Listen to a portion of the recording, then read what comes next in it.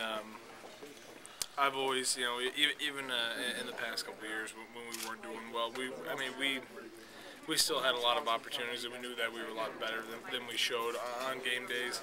And uh, as soon as Coach Rhoads got here and set those goals for us, we started working and started buying into the into the system and everything. It just everything really took off. And, and at that point, I think everyone just had a firm belief that, that anything was possible. So. Were you satisfied with?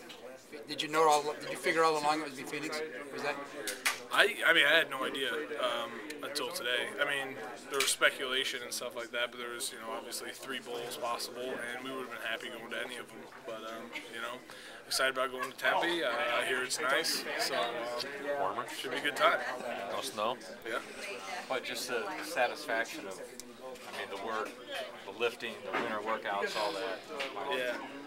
Yeah, it's just, you know, uh, it just goes to show you, you know, you know, hard work and, and just, you know, sticking with it. It's going to pay off at some point, and, and it is now. And um, you know, it's uh, uh, words really can't describe it. So. Being a Midwestern guy, do you like the possibility of playing a Big Ten opponent? Yeah, I mean, I, I guess so. You know, I, I, grew up in the Midwest, like you said, and uh, watched Big Ten growing up, Big Ten, Big Twelve, and um, you know, it'll be be different, I guess. So um, we'll, we'll, see how it goes.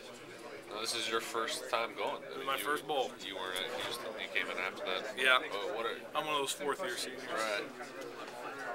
What, uh, what what are you looking forward to most? I guess.